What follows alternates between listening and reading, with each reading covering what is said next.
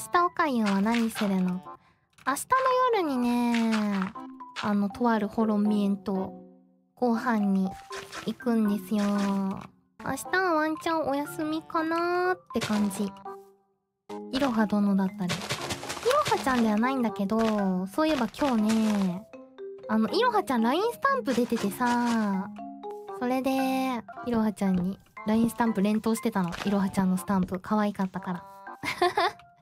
そしたら「先輩買ってくれたんですか?」って言ってて風間も実はおかゆ先輩のスタンプ持ってますとか言って可愛いなこいつめ 可愛いなこいつめあとはねいろはちゃんのこの前の記念のねライブの時にふぶきちゃんと3人でキャットラビングをね歌ってね。あの僕英語喋れないんですけど。ちょっと頑張りましたよ英語ね。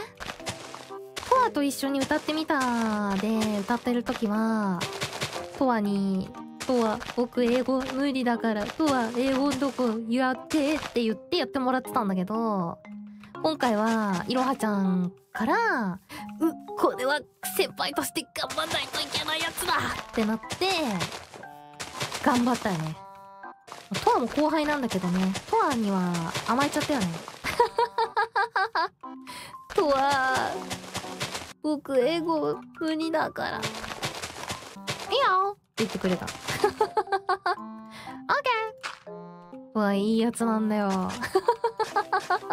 お兄ちゃん、お誕生日おめでとうピコお兄ちゃん。お願い。やり方教えてどうや